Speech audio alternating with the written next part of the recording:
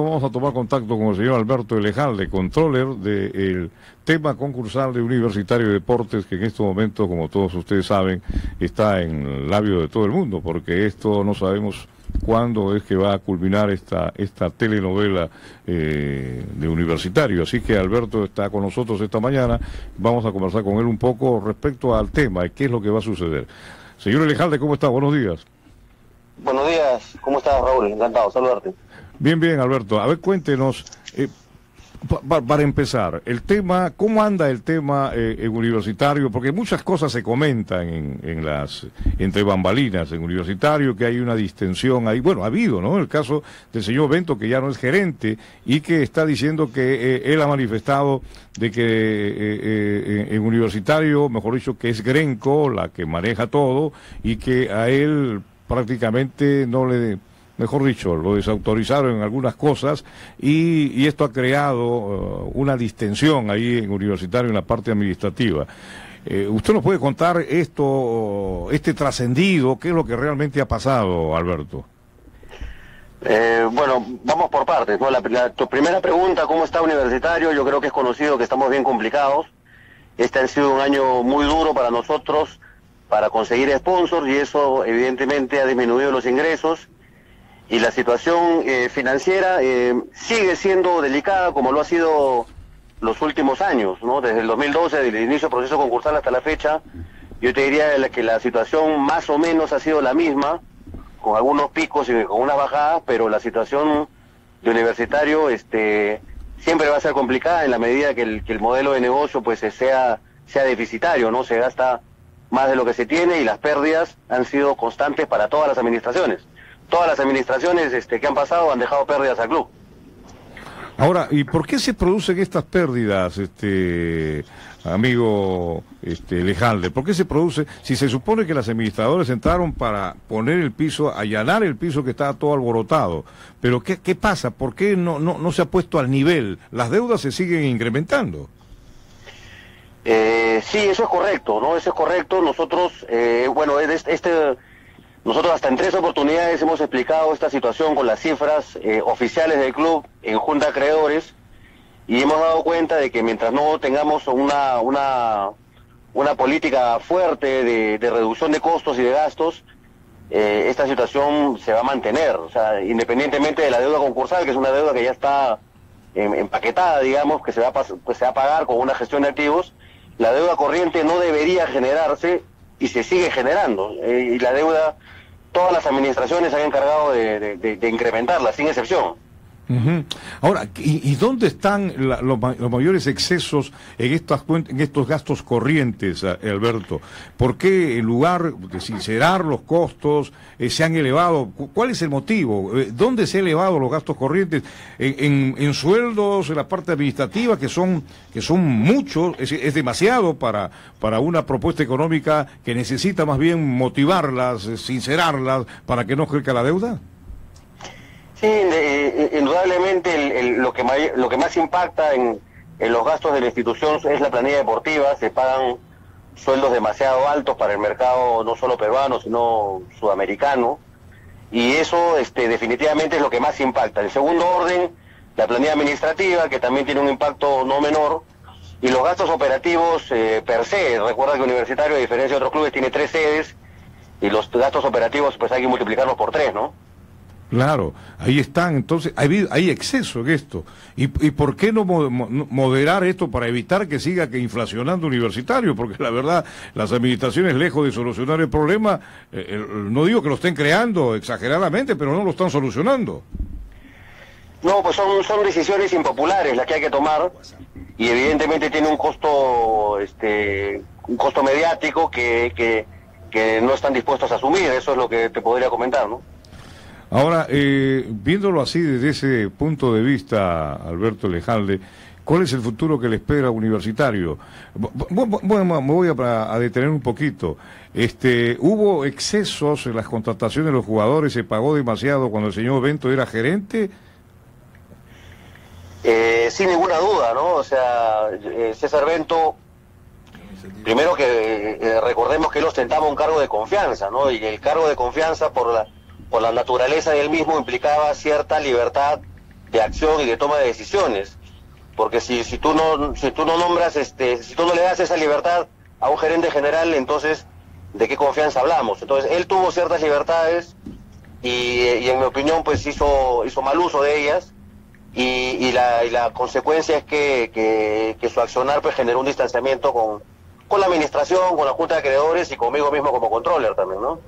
¿Y al señor Bento le está debiendo eh, dinero a la, la administración universitario? No, no, es que le esté debiendo dinero, yo creo que su, su negligencia, digamos, este, ha tenido costos, sin, sin ninguna duda, ¿no? Ahora, ¿es cierto, Alberto, que eh, en esta actual gestión hay un déficit de 4 millones de soles? Eh, la cifra exacta no, no la tengo a la mano, pero sí hay déficit. Eh, recordemos que, que, el déficit este, es un déficit, como ya te lo había comentado al principio, prácticamente endémico en,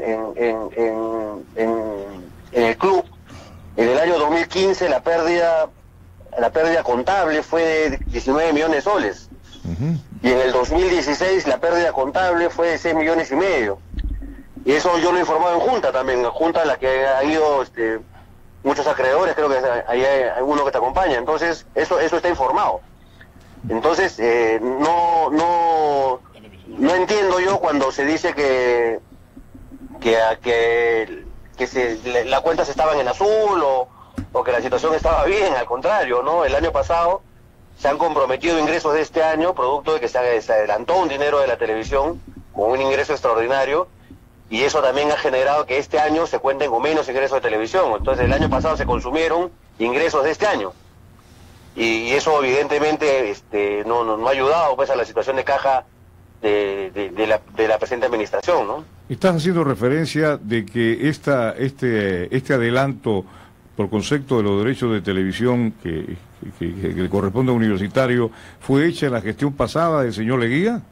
Sí, claro, claro, en febrero del 2016 y eso también eh, es, es, público, se prorrogó el contrato de, televisión del 2022 al 2025 en virtud de un pago extraordinario que hizo la televisión al club y se pensaba en, un primer momento que era simplemente el pago extraordinario, pero ese pago era no era no era más que un adelanto de los ingresos de este año, entonces el efecto el efecto de ese ingreso extraordinario es es el mismo que adelantar facturas. Es el mismo, porque estamos comprometiendo ingresos futuros, ¿no? Entonces la, deuda que, que se supone que debería haberse mantenido en verdad se incrementó en casi 3 millones de soles más en la anterior administración. Bueno, entonces, lejos de, que la deuda haya menguado, ha crecido y seguirá creciendo. Y la verdad que esto sí, sí es preocupante, por eso mi siguiente pregunta va en torno, ¿qué le espera universitario? ¿Cuál es, el futuro, Alberto Lejal, desde la óptica en su función de controller?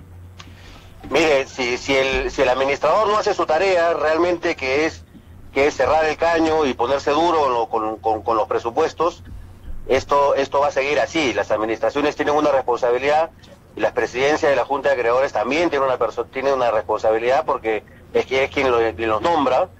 Y, y mi, mi, posición como controller es, es, es, independiente a las juntas de acreedores. Yo no le debo nada ni a Sunan, ni a Grenco, ni a Moreno, ni a Leguía. Yo, yo trabajo de una manera técnica, informo eh, los, estados financieros del club y los presupuestos ejecutados y proyectados.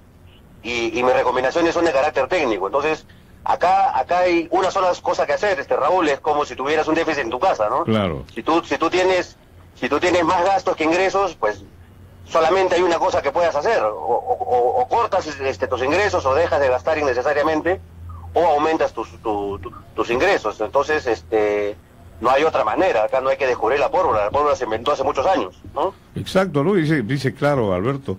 Aquí no hay más que hacer una cosa, recortar, pues, porque no tengo más ingresos y no puedo ser loco para gastar más de lo que me ingresa en el bolsillo, es que es totalmente absurdo. Así que, este, pero eso también compromete, compromete, vamos a ver eh, en esta administración cómo va a ser para evitar mayores gastos. Y pues, sobre todo la imagen que tiene el club es el equipo de fútbol, que si el equipo de fútbol no camina bien en el campeonato, no, no gana títulos o no llega a colocarse en lugares preponderantes, este, seguirán seguramente pensando que hay que invertir más, hay que gastar más para reforzar el equipo y esto nunca termina. No, es, es, esa es una, una acción matemática. Totalmente de acuerdo, totalmente de acuerdo, Raúl. Ahí hay que tener un equilibrio muy fino entre la parte deportiva y lo que se pretende gastar en ella y el equilibrio presupuestal, ¿no? eh, señor Alejandro, buenos días, lo saluda Adolfo Palau. ¿Cómo estás? ¿Qué tal? Sí, usted me, me, mencionó antes, eh, es cierto, yo, yo estaba en la Junta donde usted ha informado, ¿no? Pero lamentablemente los informes que ustedes hacen, tanto usted como la administración, no nos lo dan por escrito ni por un medio digital y a veces es tedioso escuchar las cifras. Este, puntualmente no recuerdo que usted haya informado de este punto en particular, en especial del, de la prórroga de tres años del contrato, que me imagino que usted la autorizó, usted la avisó, porque por, por el contrato de controller que tenía, su contrato inicial, y me imagino que el actual es igual, eh, cuando, los, cuando los movimientos económicos superaban una cantidad, eh, tenía que requería su autorización para hacerlo. ¿Cómo, ¿Cómo es esto? ¿Usted autorizó que se apruebe ese contrato, que se prolongue ese contrato en esas condiciones? No, no, porque este, ahí hay que hacer una, una aclaración, este, Adolfo, y es que el contrato que yo tenía con, eh, con la administración anterior y con la Junta de Presidencia, con la presidencia de la Junta anterior, era un contrato que me permitía a mí visar en señal de conocimiento algunas cosas. Quiere decir que, que estaba en manos del administración, del administrador, a discreción del administrador, darme copia o no de algunas cosas que él hacía. Evidentemente, este contrato no cuenta con mi visto, con mi firma, no tenía conocimiento de él hasta que se ha hecho el traspaso este, de la administración y por lo que entiendo tampoco tenía conocimiento la presidencia de, la Junta de Creadores anterior, porque yo mismo les tuve que informar en un comité de, en este año de esta situación. O sea que ese contrato tampoco se reportó al expediente concursal en Indecopi. No, no, no está reportado de ninguna o sea, Se, ocultó información en buen romance. No, no está reportado. Pues no, te digo, se, ocultó información, te la ocultaron a ti, se la ocultaron a la presidencia de la Junta de Acreedores y no lo reportaron en, Indecopi. Sí. Esos son, creo que, alguna, habría por lo menos son faltas en el, en el proceso concursal, ¿no? Bueno, este, tú de procesos concursales sabes tanto como yo y evidentemente eso es una falta, no es una irregularidad. Aun cuando yo te puedo decir que el administrador legalmente no estaba obligado a contar con mi visto, a diferencia de esta administración que sí está obligada. Ya, pero sí está obligado. Mi contrato, ha cambiado, ¿no? Mi contrato, o sea, se me han otorgado mayores facultades para ejercer un, mejor control. Correcto. Y que no ocurran situaciones como la que te estoy comentando, en la que este, ya se, se, entera uno a posterioridad de este tipo de situaciones, ¿no? Pero la gestión de los señores Leguía sí estaba obligada a reportar este documento al expediente concursal, y ahí tú lo hubieras podido ver. Debería estar en el expediente concursal. Entonces, al no existir, no tenías cómo, cómo, cómo, cómo tener acceso a él, ¿no?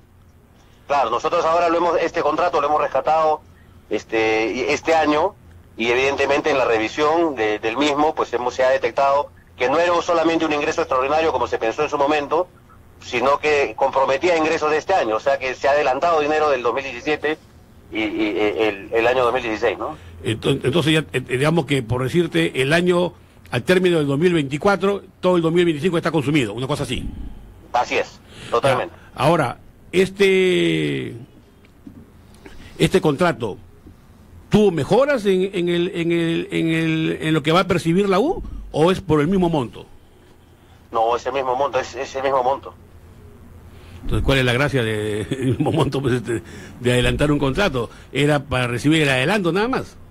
Nada más. Bueno, eh, recuerda que en esa época este, ese dinero se utilizó para, para justamente gestionar unos fraccionamientos de deuda que tenían que contar con una cuota inicial, para poner al día muchas obligaciones que venían también de gestiones anteriores o sea, también es verdad que la, que la administración anterior heredó unas deudas este, que sumaban 22 millones o 23 millones de soles y, que, se, bueno, se suponía que se habían mantenido, pero con, esta operación nos damos cuenta que la deuda realmente se ha ido a 26 millones. Este, y, claro, pues es una situación endémica la de universitario, ¿no? Ahora, ahora que acá nadie se salva. Tú como controller, eh, eh, eh, estás hablando, claro, es cierto, eh, la primera gestión de Ayarlo Pescano Rocío Chávez dejó un, pasivo, un déficit de más de 15 millones de soles, exacto no lo sé, tú has dicho que son 19, pero bueno, millones más, millones menos, pero tengo entendido que los señores de Leguía presentaron una denuncia ante el Ministerio Público, porque había ciertas irregularidades. Es más, de lo que yo te he escuchado decir en la Junta de Acreedores, habían cosas que ameritaban denuncia penal, porque habían tocado dinero sin sustento, sin justificar, sin decir para qué se gastaba el dinero, por ejemplo, del fideicomiso. ¿En qué está esta denuncia que hizo los señores Leguía a la administración anterior de Rocío Chávez y, y Aya López Cano? Es correcto.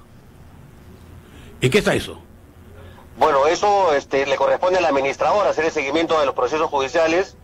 No está dentro de mi, de, de, de, de mis condiciones este, hacer supervisión de los temas judiciales porque son demasiado extensos. Recuerda que, que Universitario tiene más de 450 procesos judiciales en curso. Entonces, a mí materialmente me es imposible hacerle seguimiento a eso. Correcto, correcto, entiendo. Ahora, ahora Alberto, eh, te escuché eh, en una entrevista donde mi amigo Luis Enrique Negrini eh, hacer una denuncia muy seria respecto al charter a Paraguay.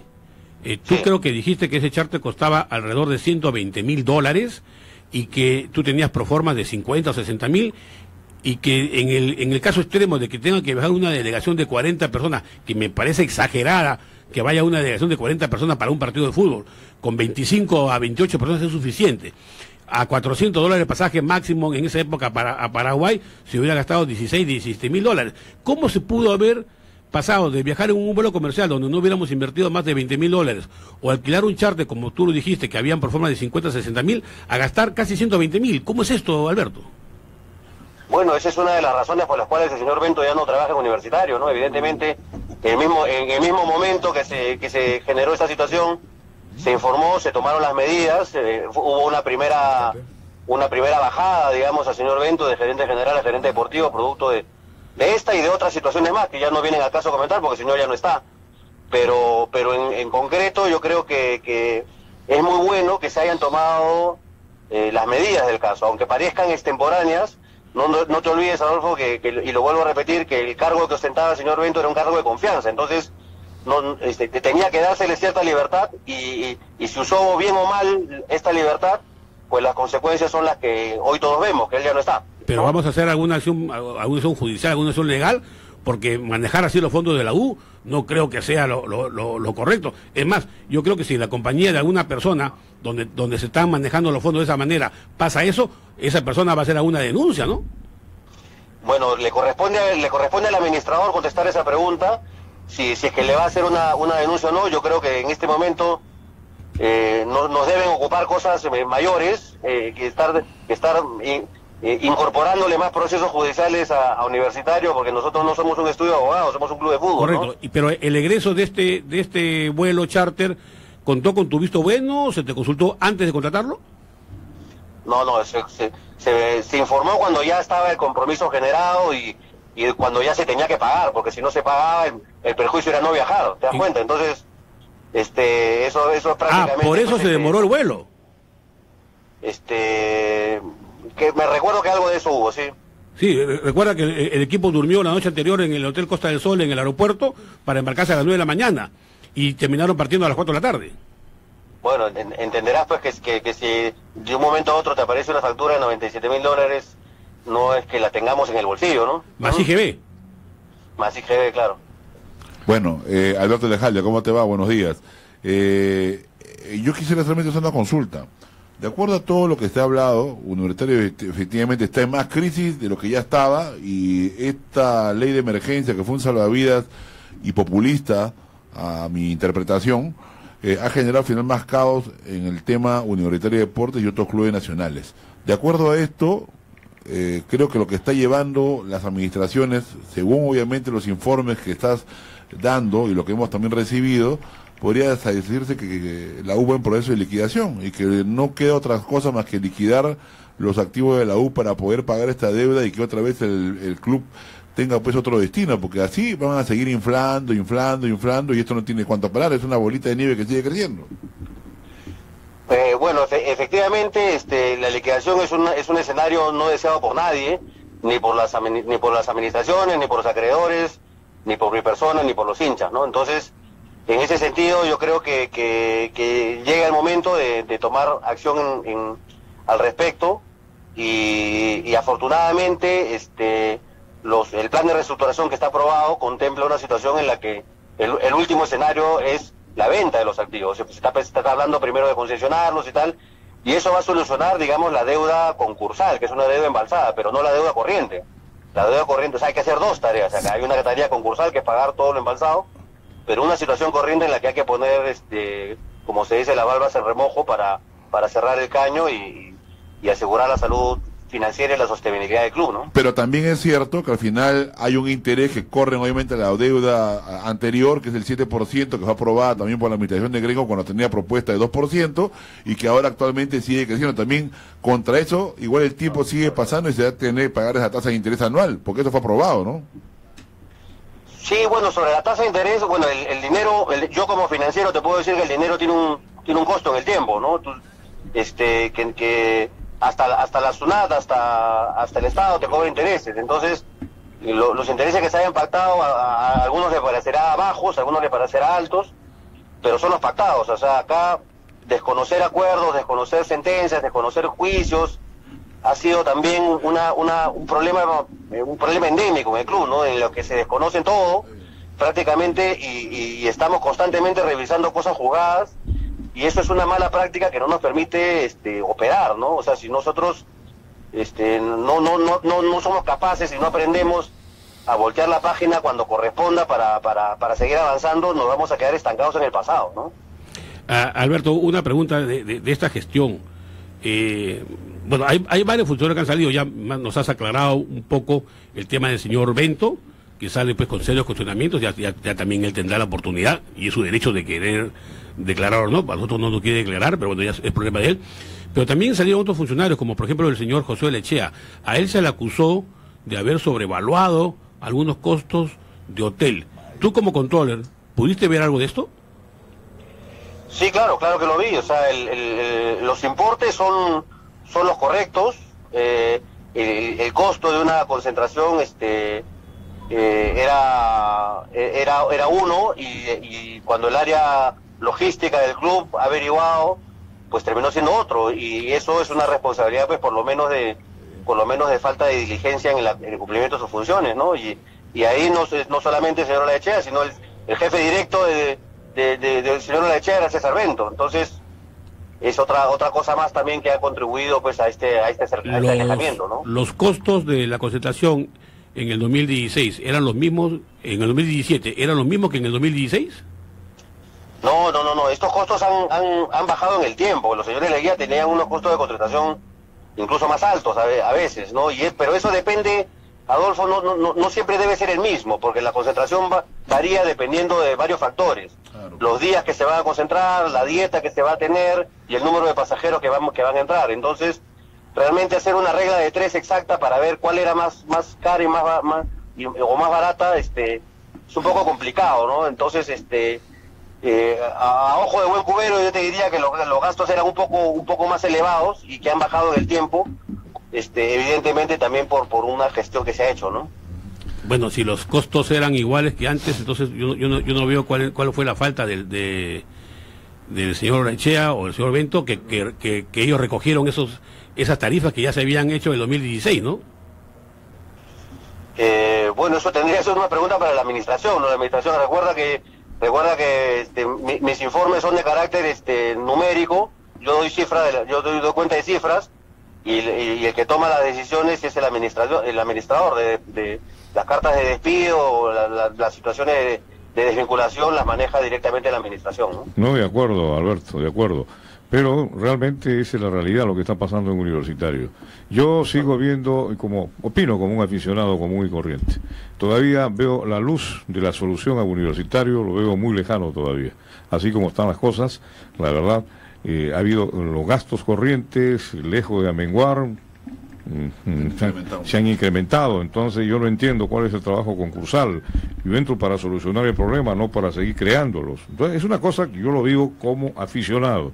En fin, es un tema administrativo. Lo tuyo es una función de control únicamente, el técnico, el, trabajo, y nos has dado a conocer aspectos muy importantes. Y además ha mencionado algo muy, que lo, estoy, lo, lo he reprisado aquí. Es un mal endémico universitario y aquí nadie se salva es lo que has expresado este Alberto Elejalde. Así es. Bueno, esperemos que en Universitario no se haga de malas situaciones, la verdad, porque aquí sufre la hinchada de Universitario, sufren los socios de la U, y la verdad que eso sí es, es bastante, bastante delicado, porque no se ve. En ese túnel todavía la luz clarísima no se está viendo, así como están las cosas. Muy bien, Alberto Lejalde, muchísimas gracias por habernos permitido este diálogo muy esclarecedor de la situación actual de Universitario de Deportes. Ok, gracias, hasta luego. Hasta luego. Muy bien. Estuvo el control del universitario Alberto Lejalde. Claro, ha dejado cosas muy puntuales y la función que él cumple en universitario, no esta función administrativa, él no es administrador, es un, es un técnico, un controller que es, podríamos exacto, es claro, un controller, pues un fiscalizador realmente. Esa es su tarea y nos ha dado puntos muy precisos de lo que está ocurriendo en universitario. Incremento de gastos corrientes. Por eso la, la, la, la pregunta salta a la vista.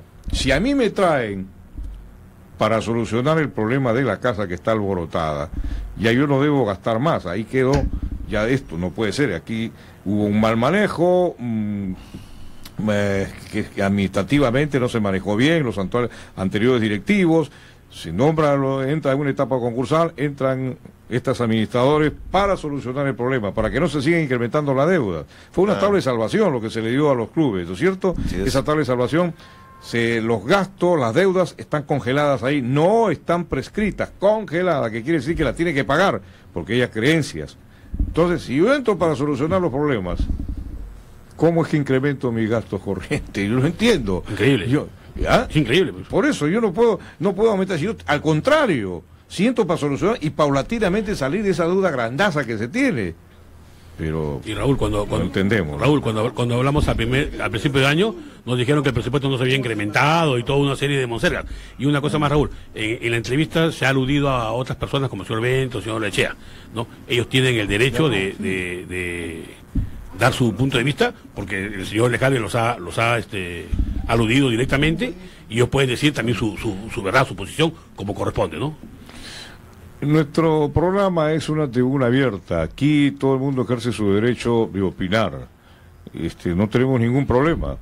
Como lo hemos venido, afortunadamente, la administración actual del universitario hemos estado tratando de, de, de conversar con ellos, pero ninguno, ni el señor Moreno, no, ni el señor Ortecho, ni otro señor que esté componiendo la administración quiere dialogar con nosotros en ese sentido. Por eso le agradecemos mucho a Alberto Lejalde que él sí ha correspondido a nuestra inquietud Perfecto. y nos ha aclarado. Ahora lo mismo, la oportunidad tiene el señor Bento para poder claro. este, expresar o, o el señor lo que Moreno, él, cualquiera aludió, ¿no? Cualquiera, cualquiera de ellos. Perfecto. Nosotros aquí no estamos segmentando nuestra opinión a, eh, a inclinándonos a favor o, o, en contra de otro. Simplemente queremos que se sepa. La, la, la, la afición hincha, seguidora de la U y la no seguidora quiere saber cómo es esto. Porque eh, no se trata de un equipito, se trata de un club de una institución de arraigo, de una institución que tiene una infraestructura la más grande de deportiva en el país, no. con una hinchada mayoritaria en el país. Entonces la gente quiere saber qué es lo que va a pasar. El tema concursual continúa hasta donde secula seculorum. ¿Cuál es el destino? ¿Cuál es el futuro? Continuamos entonces con nuestro programa Super Deporte a través de Eco Radio. Justamente habíamos anunciado, está con nosotros ahora telefónicamente Pepe Olaechea colega y además él estuvo hace, hasta hace muy poco haciendo las funciones de coordinador deportivo en Universitario de Deporte, ya no lo es, y como ha sido aludido hace un momento por el señor eh, Alberto Lejalde, lo tenemos en línea porque algo más tendrá que abundar en detalle sobre este tema, lo que está sucediendo en Universitario. Pepe, ¿cómo te va? Buenos días. Eh, ¿Cómo estás, Raúl? Muy buenos días y después de mucho tiempo, ¿no? Y lamentablemente fue de esta forma, ¿no? Que tengo que responder un poco al circo concursal que estoy escuchando y que, está sucediendo en universitario, ¿no?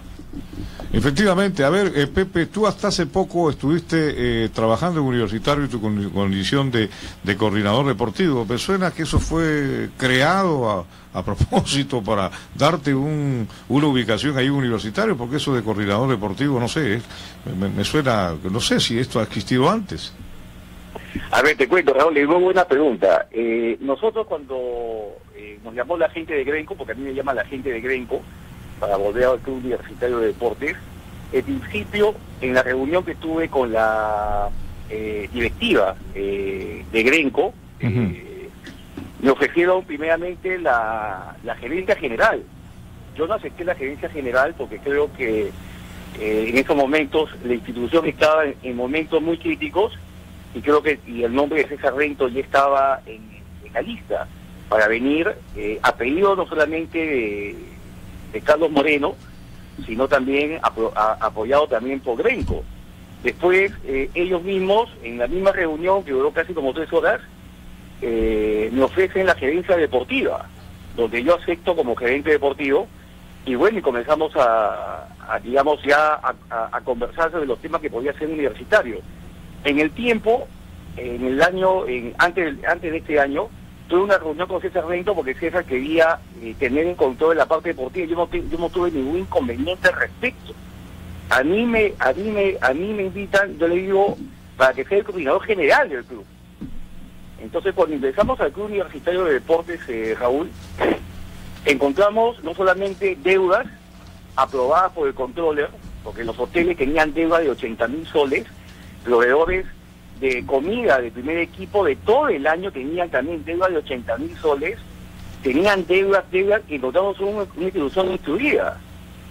Y al final eh, llegó gente, sí, con la administración, especialmente la gerencia de operaciones, con el señor Pedro Vázquez, que empezó a aprender lo que era el manejo institucional.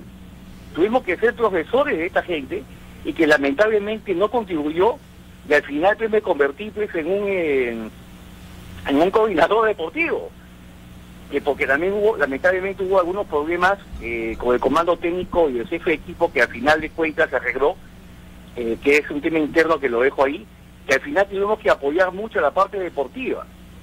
Y en la parte deportiva, eh, cuando se, se, se hereda el tema del Hotel Costa del Sol, ojo, Raúl, yo empiezo a partir de noviembre universitario, pero la realidad que en el año eh, de este año, el año 2017, ok, tuvimos que encargarnos mayormente de toda la parte logística deportiva, porque los hoteles que encontramos eran aprobados por el controller y especialmente el Costa del Sol, quien lo había negociado había sido César Linares, porque César Linares fue jefe de equipo hasta terminado el año del año 2016, ¿correcto? Y hubo varias concentraciones ahí que no tuvimos nada de cuenta. Y aparte el comando técnico fue que pidió el Costa del Sol, aprobado por el controller, y si no te vas a olvidar, el comando técnico era un poquito grande, por los asesores que tenía, y más allá que a veces concentraban hasta dos jugadores más. Por eso el presupuesto bajaba. Ojo, nosotros tenemos toda la documentación donde pedimos el cambio del hotel.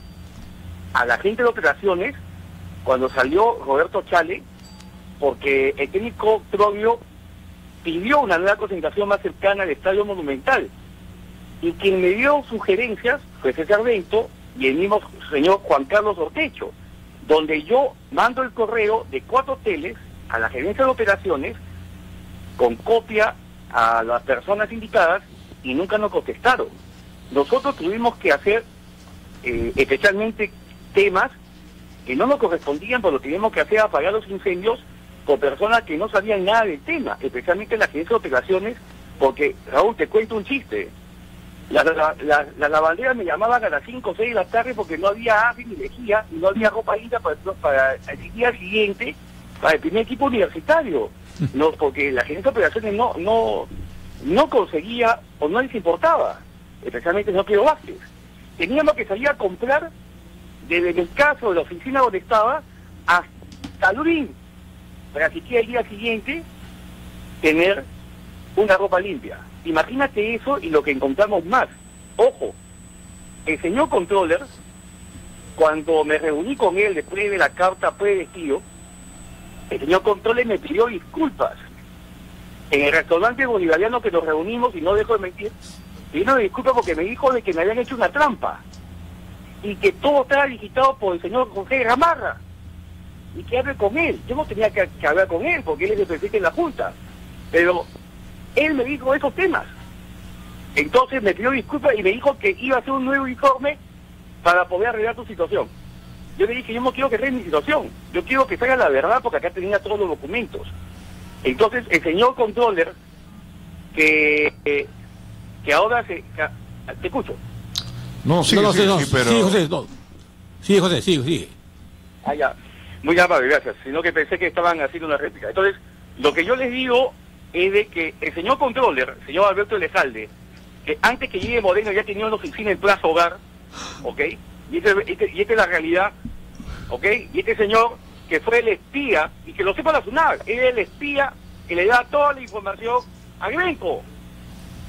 Esa es la realidad. Eh, Jo- José, a ver, qu- quiero, quiero, ha- has dicho cosas importantes. He dicho que primero tú tuviste eh, una reunión con la gente de Grenco, donde te ofrecen la gerencia general y eh, tú no aceptas y finalmente te, te ofrecen la gerencia deportiva.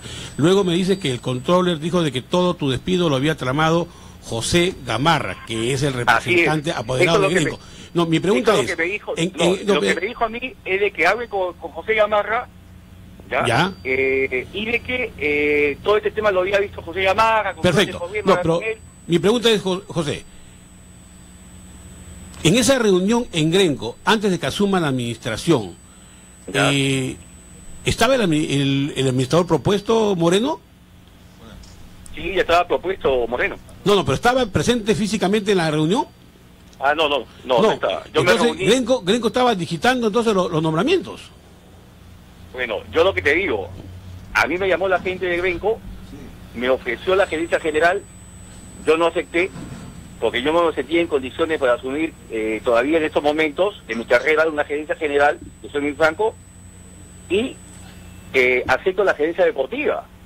Y estaba la estaba el directorio de Grenco. Eh, Eh, señor yo- este, Pepe, yo doy fe de eso porque antes de comenzar la Junta de Acreedores, donde se eligió a Consultoría de Fidelidad Corporativas, representada por el señor Moreno, el propio José Gamarra, que se sentó dos asientos a mi costado, me informó de que tú ibas a ser el nuevo gerente deportivo, antes de que se nombrara a, Carlos Moreno, ¿no? O sea, eh, lo que tú estás haciendo es totalmente cierto. Sí, yo, yo tengo que acá que de qué mentir, ¿no? El tema es muy sencillo para mí. Yo eh, volví a universitario después de lo que pasó con, con la invitación de lo leía, entonces me ofrecieron ese tema, eh, yo lo acepté, pero en los tiempos, como yo te digo, eh, eh, señor César Evento quería tener el control de la gerencia deportiva. Yo no tuve ningún problema, ¿ah? no, tuve ningún problema al respecto. Eh, lo pensé bien y ahí eh, al principio una, una coordinación general del club, pero encontramos tantos problemas, eh, Adolfo, dentro de la institución, que al final de cuentas terminamos haciendo hasta la gerencia operativa, hasta la gerencia deportiva, hasta muchas cosas dentro de la institución, porque había mucha gente que desconocía el tema institucional deportivo, especialmente con todas las deudas encontradas aprobadas por el controller de los mismos presupuestos, de los mismos hoteles que trabajamos Universitario de Deportes hace 5, 6, 7 años, de que estoy yo, se trabajó con los mismos, y, a- y, y acá también el tema de que el controller eh, tenía conocimiento sobre esos temas. Yo no Eh, sé de qué se hablan de, de- de- de hoteles. Ojo, que por qué vino, por qué bajó el hotel cosa de toda su economía. Muy sencillo, porque el comando técnico de Tobio llega menos. José Lechea, ¿cómo te va? Conversamos con, con el hotel y lo bajamos a una cantidad casi ya de 15 mil soles. Hola, ¿qué tal? ¿Cómo estás? ¿Cómo estás, José Lechea? Buenos días. Solamente ¿Cómo, una consulta. Eh, tú has manifestado hace un momento, claro, que el señor Elejalde se disculpó contigo en su momento porque, bueno, evidentemente había circunstancias que a lo mejor no eran claras y que había sido tema una treta. La pregunta es, entonces, ¿por qué ahora Alberto Elejalde tendría la intención de perjudicarte o mencionar las cosas que ha dicho? Yo creo que la pregunta o tenía que responder el mismo Alberto Lejalde. Yo te digo una cosa, con toda la sinceridad. Eh, yo no estoy para mentir, para juegos. Yo al señor Alberto Lejalde le, le, le entregué, le entregué un archivo de correos electrónicos de todo, de todo mi tema, de mi trabajo, y él lo tiene, y no me va a dejar de mentir. Yo se lo entregué a él, se lo entregué a él en sus manos, porque yo tengo las pruebas formalizadas de los conceptos de los trabajos formalizados logísticamente y los pedidos. Ojo que los pedidos lo hacía también una secretaria dentro de la institución por la experiencia que tenía, porque todo teníamos que hacer nosotros para pagar los incendios. Y más allá de eso, a tu pregunta, eh, el señor Alberto le sale, lo repito, me pidió disculpas, me pidió perdón porque dice que me habían hecho una tecla, ¿me entiendes? Y le echaba la culpa al gerente de operaciones. Entonces, acá los dos están jugando algo que para mí es un circo, y al final de cuentas me dijo que iba a conversar, que iba, no, que iba a hacer un nuevo informe. Después lo llamé, me pudo paseando, paseando, y me dijo que no, que ya no se va a hacer. Entonces, claro, lo que quería era las pruebas. Quería las pruebas, yo no tengo ningún inconveniente que tenga las pruebas, porque estas pruebas las tengo yo misma, y tengo más pruebas y más pruebas sobre el tema de nuestro trabajo que hicimos dentro de la institución. Ahora, yo lo que te digo, el señor controller, y lo voy a decir, y ojalá que esté escuchando, quiere el puesto del señor Moreno. Ese es su fin. Y es la persona que ha estado dinamitando contra muchas personas trabajadoras dentro del club que al final él tuvo que sacar. Digamos, él sacó al señor Goizueta. ¿Quién es el señor Goizueta? El señor Goizueta fue el primer tesorero del club, que fue recomendado por el señor Dani Chumbi, que era el trabajador de Grenco. Y el señor Goizueta descubrió muchas cosas en contra del controller. Y era un tema muy peligroso para el controller, porque el controller era el espía de Grenco. Y que lo sepa la SUNAC, porque se reunían en el Bocata. Entonces el señor controller jugó siempre con los actores para quedarse en ese puesto que está y querer tener la administración. Y ojo, yo tengo una prueba de audio donde el señor controller dice, ya coordiné con un tal José. Me gustaría saber quién es el José, pues. Bien. Este, Eh, Pepe. es tu tocayo, Pepe. Bien, entonces... eh, Puede ser mi tocayo, pero no creo que sea la mía familia. Bueno, ha, ha- ha dicho, tenías intención de hacer estos descargos o esta referencia a mi querido Pepe Olaichea. Nosotros hemos atendido esa solicitud y esperemos ahora, a lo mejor, una respuesta del mismo Alberto Lejalde, que ha sido la- lo que tú acabas de decir, bastante delicado. Y por supuesto, desde luego, el señor Bento también, estamos esperando en el programa, porque se necesita que esto se aclare. Esto no puede quedar en la nebulosa, por la salud de lo que significa Universitario de Deportes. Pepe, cuando gustes, aquí los micrófonos siempre estarán abiertos, o tu presencia física también importante para que en algún momento te puedas dar un salto acá a la emisora y conversar personalmente sobre todos estos temas. Yo te agradezco, Raúl, y, y bueno, yo eh, eh, eh, pedí la réplica porque fui aludido, estaba en el auto manejando, eh, y sí, me gustaría de repente visitarte eh, en tu programa eh, con la documentación que tengo en mi poder, y que ustedes mismos la vean, yo no tengo nada que esconder, y sobre lo que he dicho es la verdad que ha sucedido realmente y no tengo nada que esconder, y nosotros nuestro trabajo lo hicimos realmente, profesionalmente lo hicimos, pero ya los conceptos cambian eh, y salió pues la careta pues de, de un acreedor pues que no quiere lo, no quiere lo, lo bueno por universitario. Muchas gracias Raúl y muchas gracias por tu por la entrevista. No, nada, así que estamos esperando que en cualquier momento nos visites. Bien, estuvo Pepe Olaechea, que fuera hasta hace poco coordinador deportivo de Universitario de Deportes. Ah, el llamado también para el señor Bento. No, no, está, No. eh, lo, lo estamos esperando. Eh, lo hemos tratado de comunicar por teléfono con él. El señor Moreno la, lo mismo. producción del programa, Así es. ¿no? Eh, y bueno, y todos los saludos porque han vuelto a aludir al señor Raúl Leguía, tiene también derecho a, a decir, supuesto, a decir lo, lo- lo suyo. El señor José Gamarra, que también ha sido muy aludido, tiene derecho a decir lo Cualquiera suyo. de ellos, cualquiera de ellos, respecto a nuestro, nuestra única intención es que se sepa qué está ocurriendo y cuál es la salida que Y- tiene y este que tan difícil. a las dos partes, ¿no? Porque, porque creo que aquí, eh, no sé, yo, yo no, no, no quiero pensar de ninguna manera distorsionadamente, solamente nuestra misión es saber la verdad. A todos nos apena la situación que está universitario, deudas que se siguen incrementando, eso para mí es totalmente fuera de lugar, absurdo. Y ya le di ahí mi opinión, invento para solucionar el problema, pero no para seguir crea- creándolos y o aumenta, alimentando la deuda. aumenta el Eh, problema, ¿no? Eso no lo entiendo. Creo que todos ingresan con la mejor buena voluntad de trabajar, sacar adelante, pero ¿qué está pasando? ¿Dónde está el problema? ¿Por qué no se soluciona el problema? Eso es lo que se quiere escuchar de las partes y que todos apunten hacia lo mismo. ¿Y cuál es el objetivo? Salvar pues a universitario de esta crisis que está viviendo. Y eso mucha gente no lo entiende. Así es, Raúl, eh, bueno, ya, ya nos acabó el tiempo, eh, pero acá tengo yo cifras, Raúl, de lo que está, de lo que se ha gastado en la U en este semestre, y no son cifras que a mí se me nació en la cabeza, son cifras que están reportadas en Indecopi, eh, donde está, por ejemplo, cuál es el gasto de la, de la planilla actual de jugadores que bordea el millón doscientos mil soles, millón doscientos mil soles, Raúl, sin impuestos. Ojo, porque los impuestos es otro rubro, los impuestos es, es otro rubro que... que- Estamos hablando de mil, mil- un millón doscientos mil que mensuales. mensuales, soles, mensuales. Millón doscientos mil soles mensuales. Aparte van los impuestos que se pagan por otro... Por son otro más o menos producto. 350 millones de Mil- dólares. 350 mil dólares más o menos. 350 mil dólares. Más o menos, pero ese es neto. Neto, de, ahí, claro. de ahí tiene los pagos de, de- de- de retenciones de, de impuestos y tiene los pagos de AFP y de salud que corresponda. Eso se paga en otra manera. Al final, todo eso es- forma parte de la planilla también, ah, ojo.